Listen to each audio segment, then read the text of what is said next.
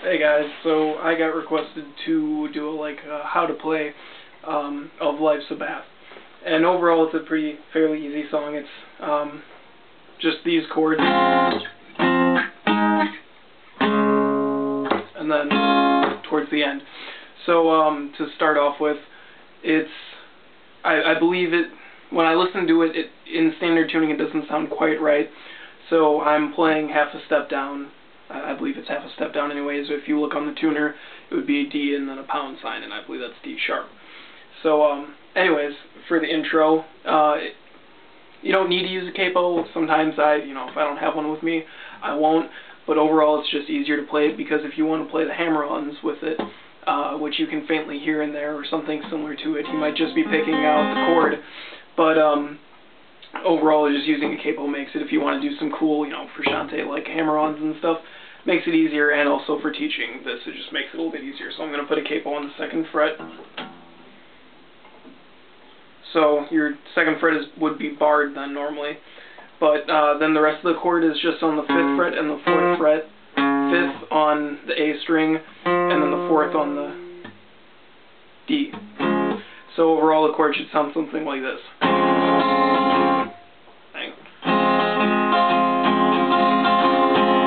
So that's the intro. It's just that one chord. Uh, and overall, you're just going to be strumming.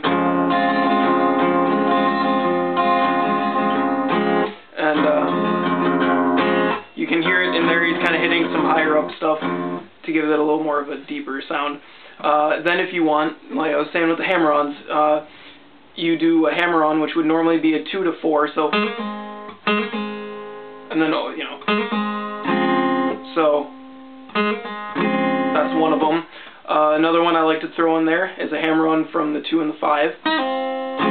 So if you put it together, it should sound, the intro should sound something like...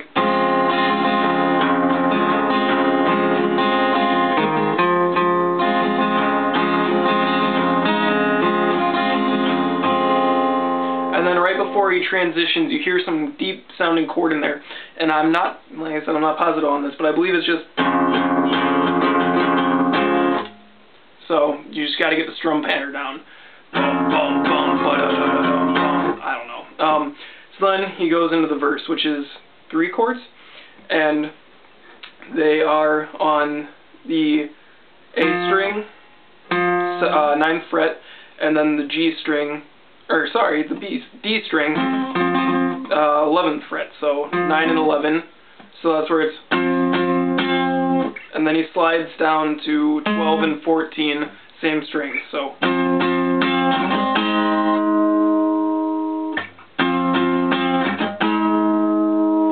And then he slides up to 7 and 5, or 5 and 7 on the same string, so.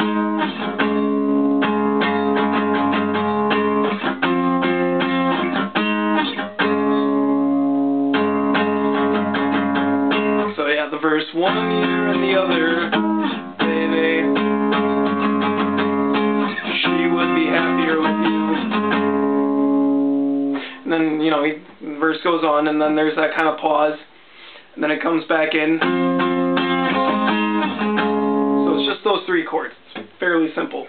Then towards the outro, I guess you would call it, where he's, you know, life's a bath, sex is water. And then um, it's two of the same chords. And then where every time he says "come on," it's uh, barring the seventh fret, the on the D, G, and B. So together it should be.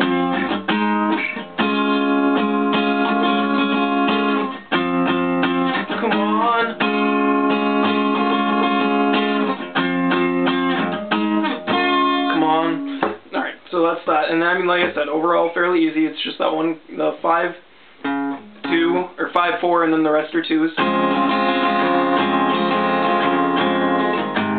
Sorry. And then... And then the last set would be... But uh, I'll play it all through once more. Um, so like I said, it's those chords.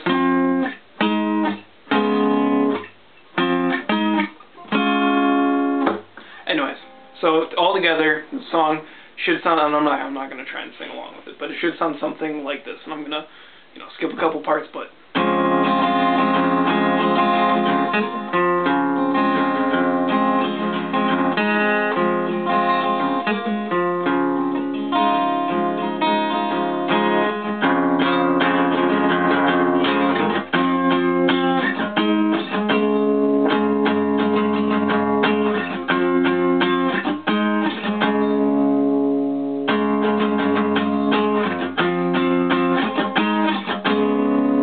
then the pause would come in.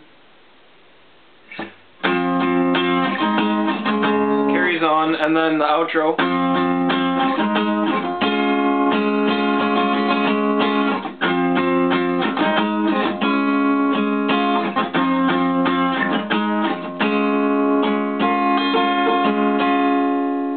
So I guess, and then one more thing just to add in. When you're playing with the capo, it's nice for up here in the intro part. But the rest of the verse, it can get kind of complicated. I noticed when I, well, not complicated, but you just have to watch what you're strumming because I noticed uh, when I uh, when I hit this chord, some of these higher notes were getting hit accidentally. So if you do play with a capo, watch out for that. Make sure that you're only hitting the notes that you really want to hit, because otherwise it it'll get sound it'll sound a little messed up. But anyways, I uh, hope the video helped a little bit. Um, if not, uh, leave a comment or message me as to something that I might have left out or something you didn't fully understand, and I will try to reply to you with, you know, as much help as I can give you. So, thanks for watching.